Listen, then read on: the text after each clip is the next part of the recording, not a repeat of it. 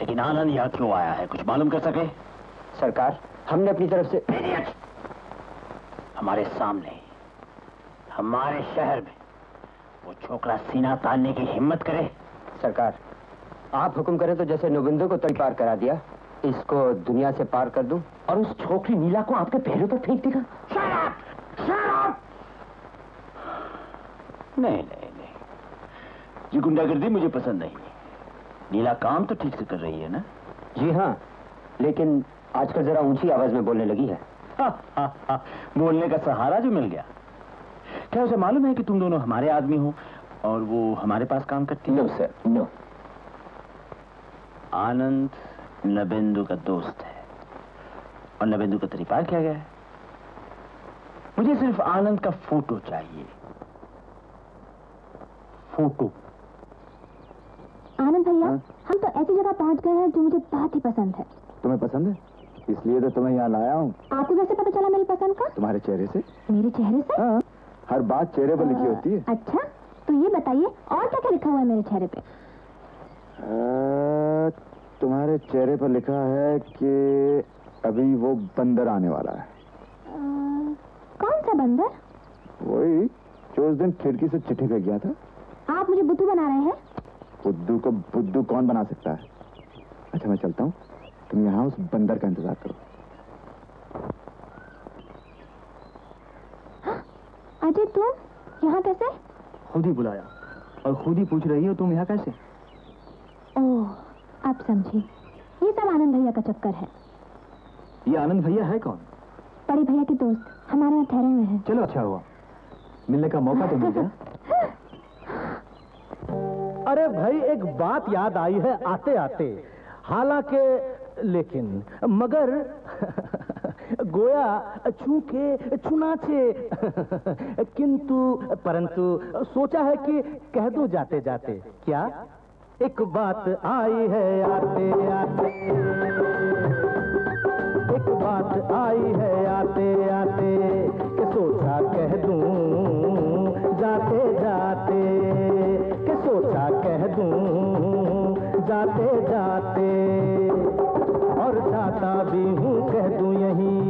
कह दूँ। बोलो। हालाँकि लेकिन मगर गोया चुके चुनाते किंतु परंतु क्या करूँ? टाइम नहीं।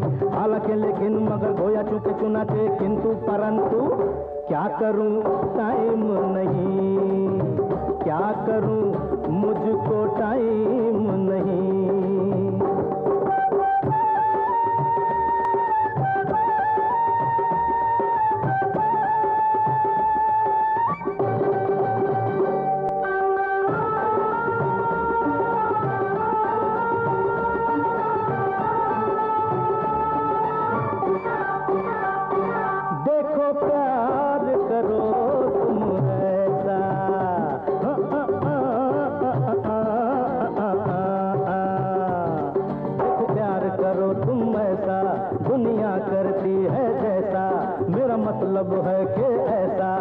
तुम समझ गए ना कैसा एक दूसरे को लो तुम जाँच।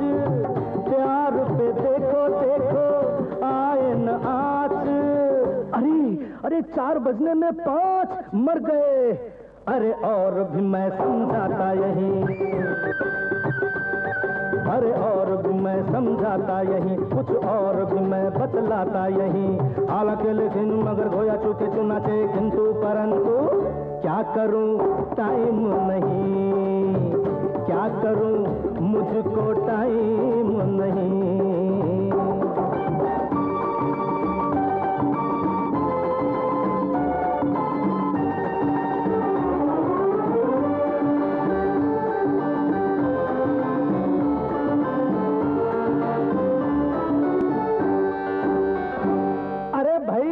और कहानी याद आ गई एक और कहानी याद आई दा दा दा दा दा दा दा दा दा कहानी थी। एक राजा, एक रानी थी। एक छोटी सी कहानी थी। एक राजा, एक रानी थी। रानी की जो नानी थी, आँख से वो कानी थी। आँख से जो कानी थी, रानी की वो नानी थी। कानी थी, नानी थी, रानी की वो नानी थी। नानी नानी नानी नानी, कानी कानी कानी कानी, नानी कानी नानी, कानी थी। अरे भाई, कुछ भी थी तो क्या हुआ? मगर दिन रात यही कहती थी। कहती थी वो, एक ही बात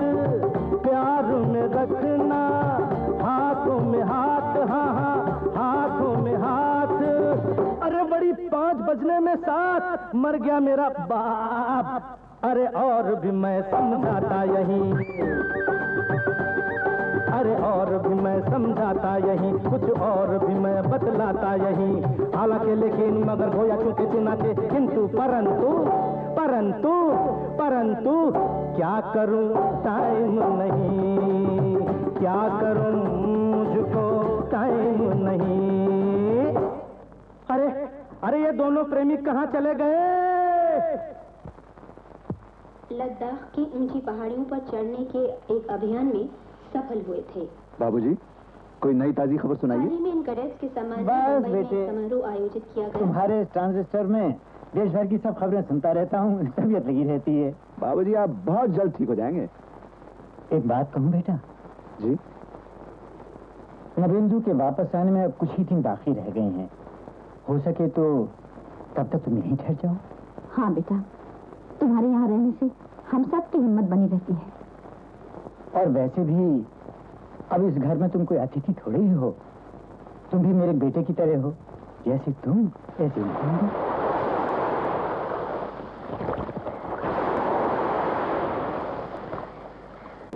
आनंद आज तक तुमने अपने घर वालों के बारे में कुछ नहीं बताया? मेरा घर ही कहाँ जो अपने घर वालों के बारे में बताऊँ? सिर्फ़ ऊपर आसमान नीचे ज़मीन। इसके सिवा कुछ नहीं। नहीं दोस्त नहीं। ऐसा मत कहो। मैं जो मेरी माँ है मेरे पिताजी हैं। मेरा घर तुम्हारा घर है। अब की जब मैं घर वापस जाऊँगा तो तुम्हें मेरे साथ चलना होगा। नहीं नहीं बिंदु। मैं तुम्हारे उस पवित्र घर में रहने के काबिल नहीं हूँ। अरे कैसी बातें कर रहे हो तुम? न बिंदु मैं एक मिशनरी स्कूल में पढ़ता था। जिस दिन मैंने होश संभाला, स्कूल के पादरी ने मुझे बताया कि कोई बदनसीब औरत अपनी लाज बचाने के लिए मुझे एक चर्च की सीढ़ियों पर छोड़ गई थी। पादरी की यह बात सुनकर मेरे कानों में लोगों की नफरत की हँसी गूंजने लगी और मैं हौसले से भाग निकला। मुझे नहीं मालूम कौन है मेरा बाप, कौन है मेरी माँ। इस भरी दुनिया में अकेला ही भटकता हूँ। नहीं दोस्त ऐसा मत कहो। आज से हम दोनों जिएँगे एक साथ मरेंगे एक साथ। आज से मेरी माँ भी तुम्हें उतना ही प्यार करेगी जितना मुझसे करती है। आज से मेरी माँ सिर्फ़ मेरी माँ नहीं बल्कि तुम्हारी भी माँ होगी। नहीं नहीं नहीं।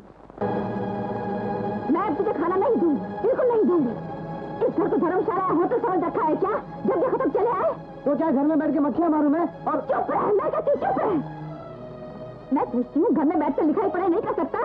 लो और सुनो घर में बैठ के लिखाई पढ़ाई करूँ। माँ कई महीनों से मेरे स्कूल की फ़ीस नहीं गई। उसका कुछ नहीं मेरा नाम कट गया स्कूल से। वो तो हमारी मजबूरी है कुंदन। क्या गरीब के बच्चे घर में लिखाई पढ़ाई नहीं करते? उपदेश मत दो माँ उपदेश मत दो। मुझे फिल्मी लोग अच्छे नहीं लगते। कुंदन ये क्या कुंदन? कैसी बातें कर रहा है? माँ से क्या ऐसी बातें करते हैं? आप कौन होते हैं भाषण देने वाले? कुंदन देखो बेटा तुम ही देखो किस तरह की बातें करता है माँ से। कान खोल कर सुन ले कुंदन। जब तू मेरा कहना नहीं मान सकता तो मैं भी तेरे जैसे लड़के को खाना नहीं दे सकती। नहीं दे सकती। जब नहीं दे सकती तो पहला क्यों क्या? कुंदन।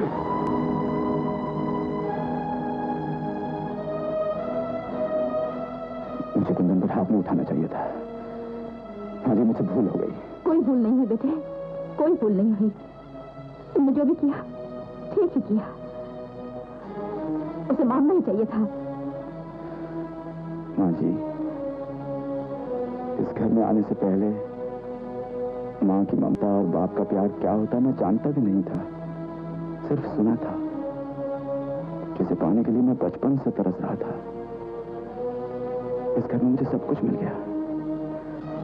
इसलिए जब कुंदन ने आपका अपमान किया, मुझसे रहा नहीं गया, मैं अपनी जज्बात रोक नहीं सका और उस बात पर गया। मुझे माफ़ कर दीजिए। मुझे माफ़ कर दीजिए, माँ जी। पगला कहीं का। अगर इस वक्त नवेंदु होता तो वो भी ऐसा ही करता। आनंद बेटे, जाने से पहले इस बिखरे हुए घर को संवार दो। अच्छी तरह सुधार दो।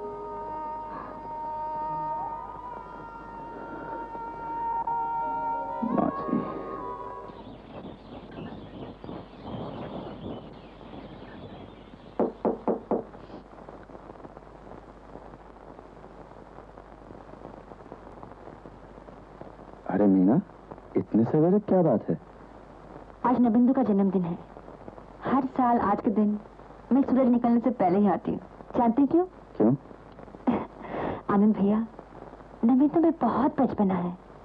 जब वो मेरी आहट सुनते हैं तो अपनी आँखें बंद कर लेते हैं। और जब तक मेरा चेहरा उनके सामने नहीं आता वो अपनी आँखें नहीं खोलते। लेकिन वो आज यहाँ तो है नहीं और फिर भी तुम? तो क्या हुआ? उनकी तस्वीर जो है बस उनकी तस्वीर को देखकर हैप्पी बर्थडे कह दूँगी और अपना दिल बहला लूँगी। अरे पगली कोई तस्वीर को देखकर भी हैप्पी बर्थडे कहता है? तुझे तो भैया को चिट्ठी लिखनी चाहिए और उसमें वगैरह वगैरह सब कुछ। आनंद बाबू आज हम दोनों मिलकर वही खाना पकाएँगे जो भैया को पसंद है और शाम को माँ के साथ मंदिर जाएँगे।